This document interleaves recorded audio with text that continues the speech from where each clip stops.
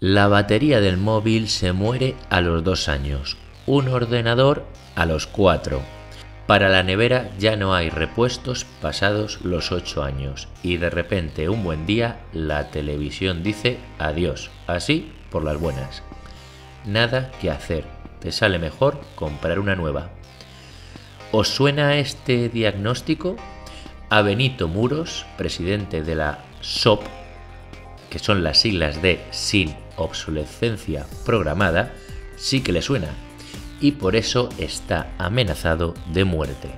Antes se fabricaban bombillas que duraban más. De hecho, hoy en día todavía queda una bombilla que lleva encendida sin apagarse ni una sola vez 119 años en un parque de bomberos de Livermore, en California. De ahí me surgió la idea de crear, junto con otros ingenieros, una línea de iluminación que dure toda la vida. Eso dice Benito. Esta bombilla que Benito ha inventado dura más de 100 años, pero como eso no lo vamos a ver, ofrece una garantía de 25 años. Es decir, si se te estropea antes de 25 años, te la reparan gratis. Porque además en el caso de que esta bombilla deje de funcionar, no es necesario comprar otra. Es una bombilla que se puede reparar. Se abre y se cambia el chip que lleva dentro y ya está. Actualmente las bombillas normales son irreparables. Si se rompe, tendrás que comprar otra.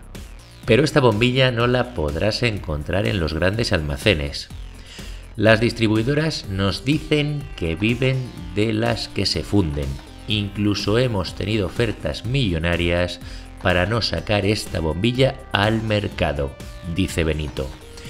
Solamente en España alrededor de 47 millones de bombillas se tiran cada año. Incluso es difícil encontrar esta bombilla por internet. En su día se vendió en Amazon, pero la acabaron retirando por la presión de las grandes distribuidoras de bombillas comunes. Aún así, os dejo un enlace en la descripción de este vídeo donde las siguen vendiendo, pero seguro que si buscáis por internet encontraréis otras webs donde la vendan. Esta bombilla cuesta alrededor de 37 euros y aunque parezca muy cara, al final ahorras tú, tus hijos y tus nietos, porque todos usarán la misma bombilla. Benito incluso ha recibido amenazas de muerte anónimas aunque todos podemos suponer de dónde vienen.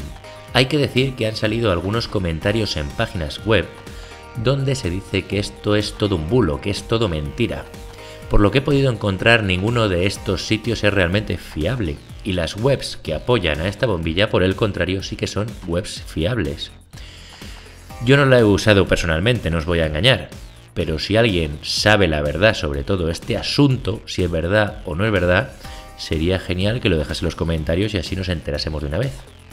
De todas formas, a mí no me extrañaría nada que esto fuese verdad, puesto que las bombillas duraderas ya existían años atrás, antes de que las empresas empezaran a utilizar la obsolescencia programada para conseguir más beneficios. Si te ha gustado el vídeo y me quieres echar una manita, dale a like y comparte el vídeo, que ayuda muchísimo y es gratis.